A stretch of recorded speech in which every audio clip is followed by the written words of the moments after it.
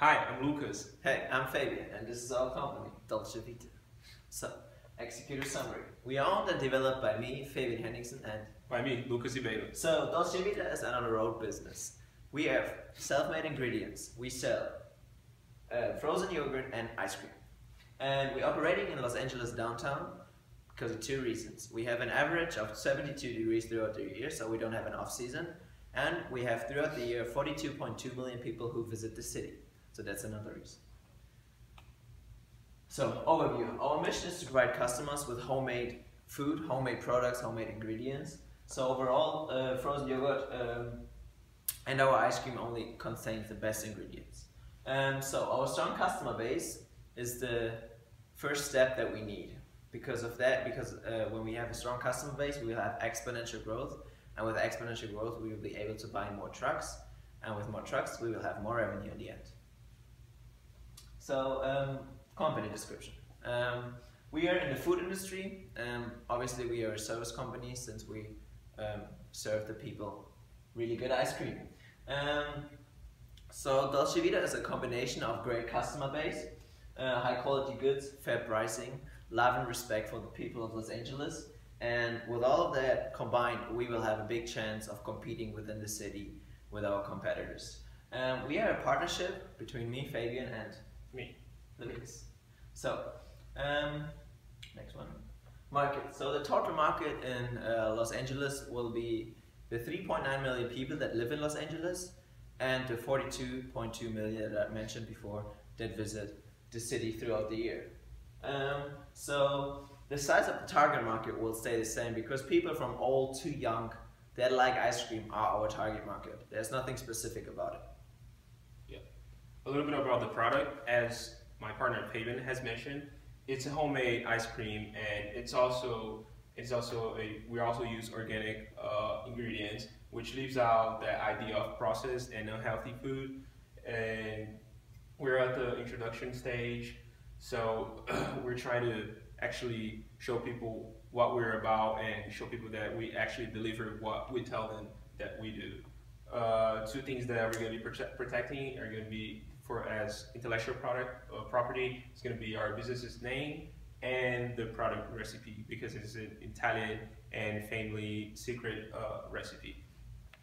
Uh, the, our pricing strategy are going to be they're going to be the ice cream are going to be around the, the small one around five and six dollars and they're not gonna they're, they're, they're gonna slightly vary from small medium and and large size we're gonna have we're gonna be at a, a profit margin uh, uh, rate of 40% per good sold in the beginning, and we're not gonna do any sort of discount or or deals until we hit the growth stage. Uh, promotion, there's three uh, factors that are going to be uh, really important in the beginning. First one is word of mouth, because we, as I said, we're going to try as, as much as possible to deliver what we are telling people that we do. We're telling people that we have high quality product, so that's what we're going to try to do, and so they can.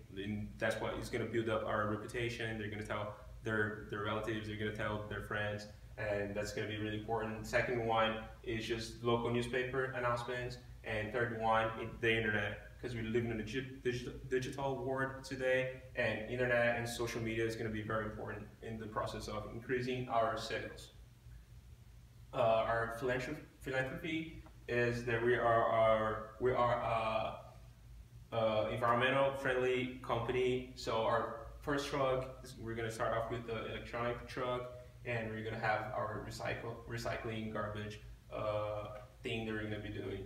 Uh, we're going to be supporting two local organizations. First one is Ocean Friendly Gardens and Rise Above Plastics, and, they're both uh, they both deal with uh, cleaning the ocean and, and removing plastic and, and garbage from the ocean.